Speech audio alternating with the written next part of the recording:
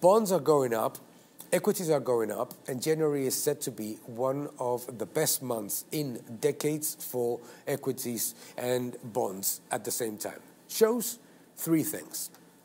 First, equities and bonds continue to be heavily correlated. Not a good thing because it shows that it is a monetary factor again.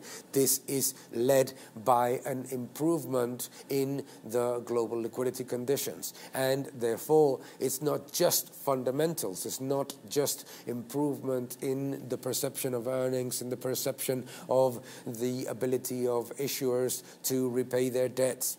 This is a monetary factor. And being a monetary factor, the risk of elevated inflation for longer is also very high.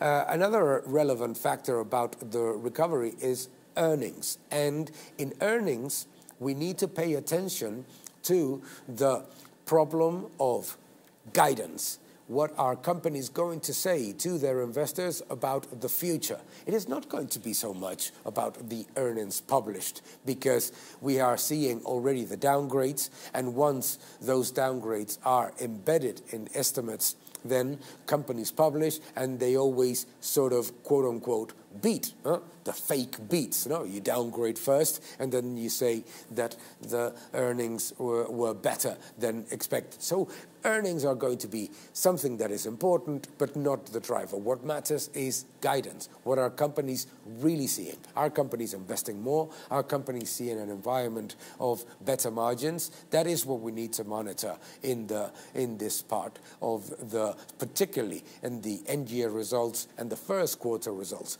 More importantly, the ability to repay debt. We have to look at cash positions. We have to look at the ability to repay the maturities in a year of rising maturities all over the world. So when we think about the market right now, it seems that it is giving us in January a great opportunity to reduce exposure to the more cyclical part of the landscape, to the more cyclical part of the asset base. That is what we need to think of going into the second part of the year because the picture remains challenging. Hmm?